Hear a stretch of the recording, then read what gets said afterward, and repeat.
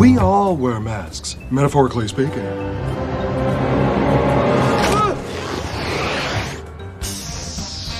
Hookhead! I'm Roadkill!